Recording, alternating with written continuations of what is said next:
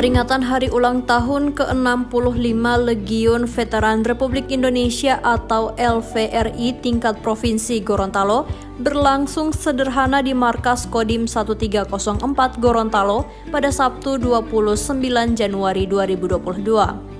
Hari ulang tahun ke-65 LVRI yang dihadiri oleh Wakil Gubernur Gorontalo Haji Idris Rahim dirangkaikan dengan peringatan Hari Patriotik 23 Januari 1942. Wagub Idris Rahim dalam sambutannya mengatakan peringatan hari ulang tahun ke-65 LVRI merupakan momentum bagi seluruh komponen bangsa, khususnya para generasi milenial untuk menghargai dan meneladani semangat veteran.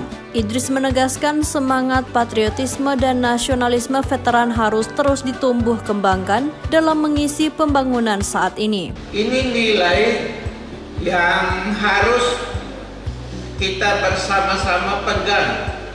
Dan harus kita tularkan nilai-nilai ini kepada generasi muda kita.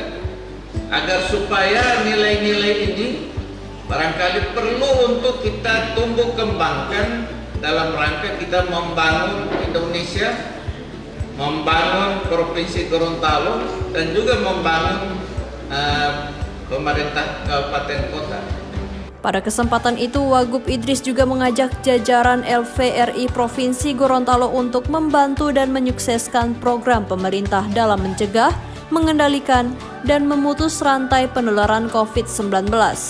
Idris berharap keikutsertaan para veteran dalam menerapkan protokol kesehatan dan vaksinasi bisa menjadi contoh bagi masyarakat.